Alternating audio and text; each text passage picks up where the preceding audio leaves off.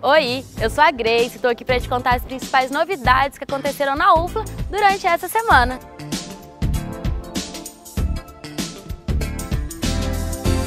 E a UFLA está a todo vapor, se preparando para começar o um novo semestre letivo. Quer saber o que foi notícia sobre a volta às aulas? Então já sabe. Rebobina aí!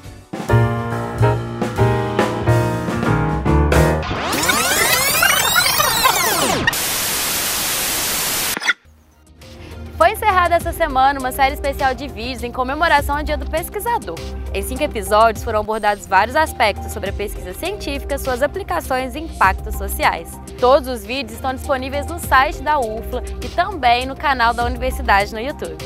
Se você foi aprovado na quinta chamada do SISU, que foi divulgado no dia 31, fica ligado, pois a matrícula será realizada exclusivamente de forma presencial, nos dias 5 e 6. Os aprovados devem comparecer na Diretoria de Registro e Controle Acadêmico, DRCA, das 8 às 12 horas ou das 14 às 17 horas.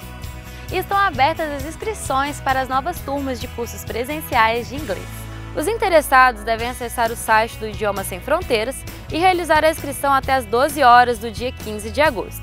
Para realizar a inscrição é preciso ter pontuação no teste TOEFL ITP ou estar ativo no My English Online. A sexta semana de Planejamento e Formação Docente marcará o início do segundo semestre letivo. Entre os dias 12 e 14, os professores da instituição poderão participar de atividades como minicurso, oficinas, audiência pública, reuniões de trabalho e discussões em fórum. O evento tem o objetivo de promover reflexões sobre os desafios e as possibilidades de ações docentes nos cursos de graduação. E os novos uplanianos merecem uma salva de palmas. Entre os dias 14 e 16 será a recepção aos calouros da UFLA. Os novos estudantes receberão as boas-vindas com uma série de atividades. A presença é obrigatória todos os dias, de acordo com a Resolução 473 do CEP. E caso o estudante não possa comparecer, deve apresentar justificativa à Pró-Reitoria de Graduação. E se você quer saber mais sobre essas e outras notícias, acesse o site ufla.br e nos siga também nas redes sociais. Até mais!